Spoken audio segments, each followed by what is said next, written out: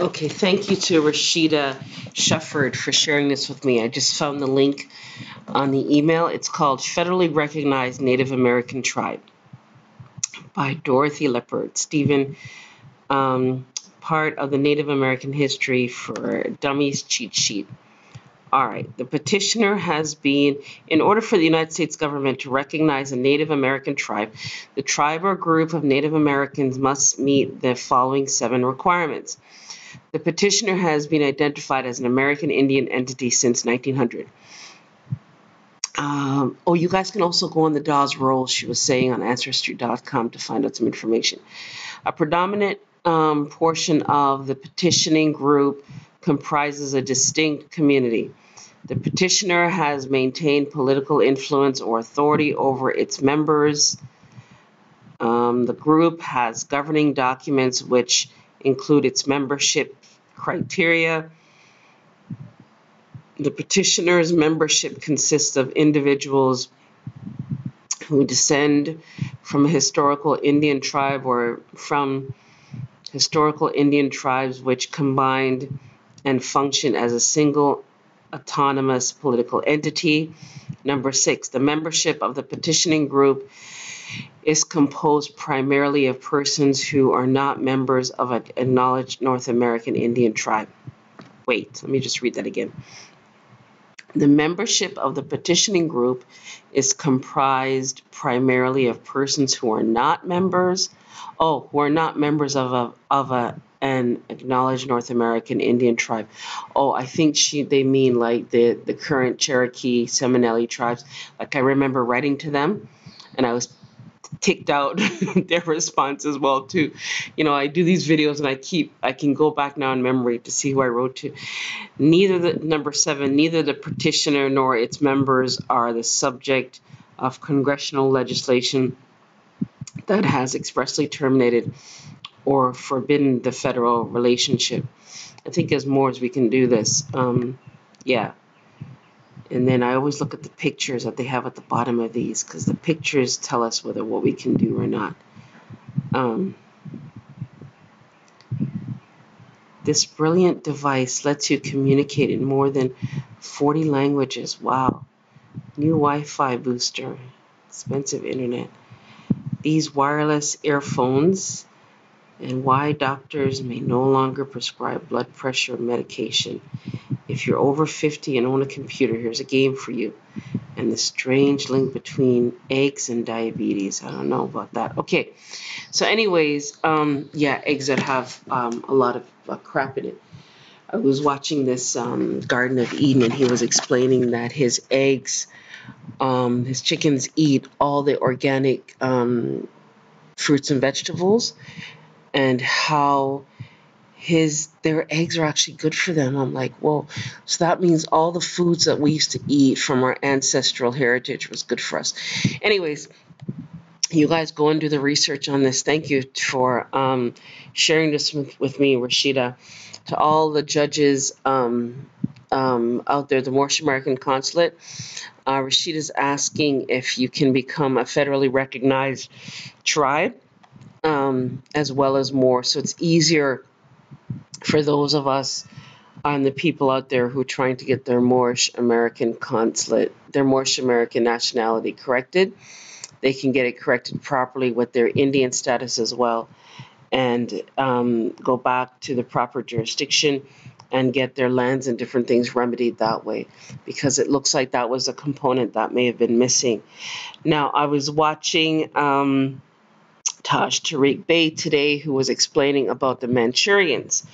He was talking about how the Manchurians were instrumental in helping a lot of us in regards to the so called United States corporation run by the Vatican Pope, and how back in, I think it was 2012, uh, the Manchurians had all these, um, I think it was they were mercenaries um, in play that were taking out a lot of these corrupt entities, eh?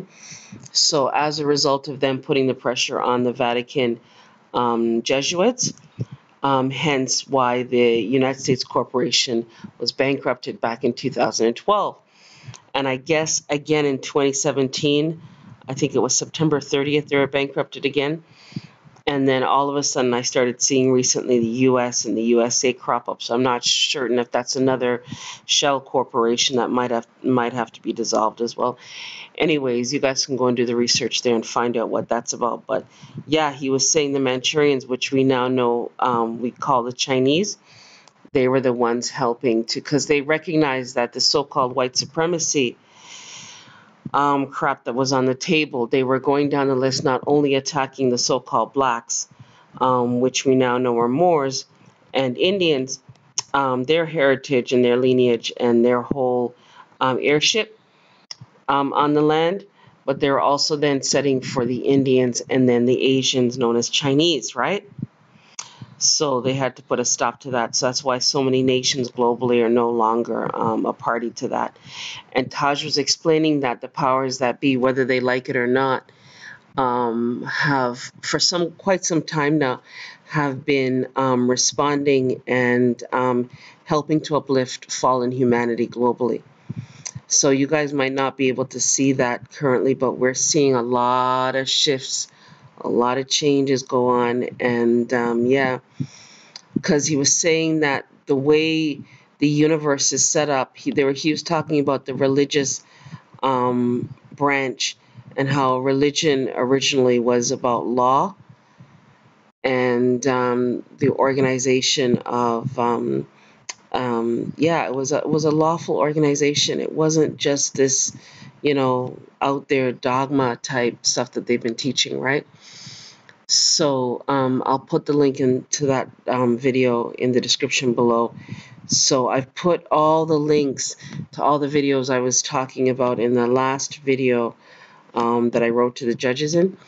Um, you guys can go back and watch those videos and look at the ancestry.com and email them for your lineage. And thank you again to Copper Aborigines Queen um, Cafe Bey 7, um, a whole host of you out there who are just peppering some of the um, agents that are on. And he was also, somebody was also talking about um, the Boule um, sellout agents doing business as black leader guys. They were talking about how they're tearing down. Do you remember the secret treaty of Verona and the Spanish Inquisition and the black Christian codes um, doctrine? They were talking how they were going to take out those black leader guides. If ever the people woke up, they were no longer had the use, any use for them anymore. So they're taking them out one by one. That's why I couldn't comment on the Louis Farrakhan um, situation because I wasn't certain if that was what was going on. So when this guy was reporting some stuff this morning, that just kind of connected. You guys see where I'm going? Because remember, all this time we were being misled. You see? And if Louis Farrakhan was out there talking about Muslim, M U S L I M, and not talking about us as M O S L E M, Muslim, Indian tribes, even though he did mention his wife was an Indian, but you know, they never go into detail enough for us to really get it. You see where I'm going? So that was the, the problem. Eh? And I don't have anything against, you know, whatever I, I don't know them enough to be saying nothing about anybody. I'm just saying that go and do the research because I think what's happening is the secret treaty of Verona is the oath that a lot of these ministers and deacons and bishops and heads took to keep us in this dogma religion. See where I'm going?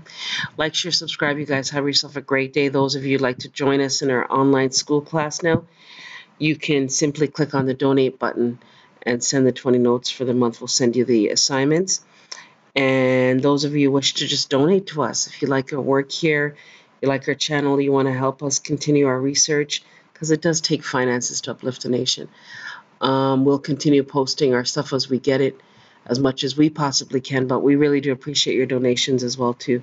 Like, share, subscribe, you guys. Have yourself a great day. Don't take my word for it. Go and do the research.